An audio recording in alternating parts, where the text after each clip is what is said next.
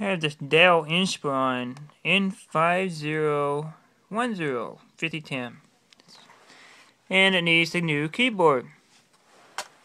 Well, first step you need to do is always take your battery out. Then you take this screw out here and you pop him out. There's one screw down here. Take him out. You see this little latch right here? There's one there. There's one there. There's one there. And one there. You're going to have to take something. And I wish I had a better way to show you this.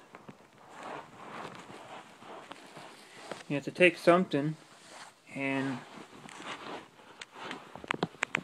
like a screwdriver or a pin and you're going to push that back.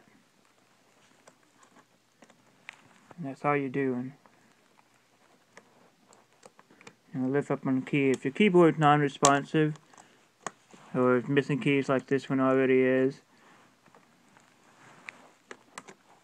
get that one side lifted up. Now you can do the same for this.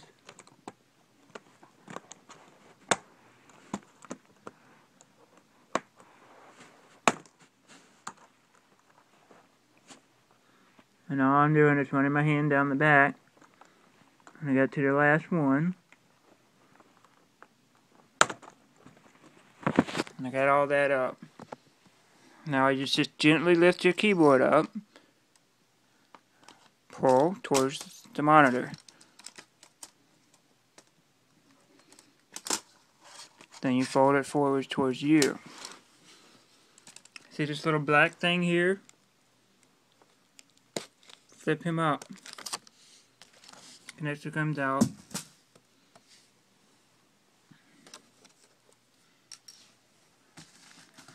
New one you got.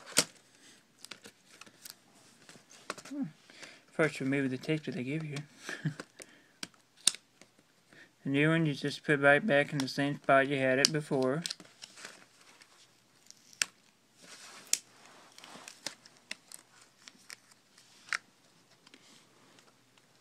And you're just gonna slide it. There's a little there's a little lip on this thing here. You see that little lip? You gotta make sure you get it over that little hump that's inside there on both sides. Once that's done, close it.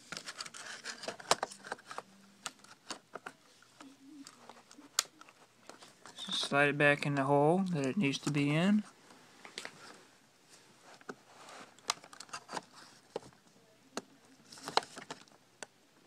Might be a two-hand operation.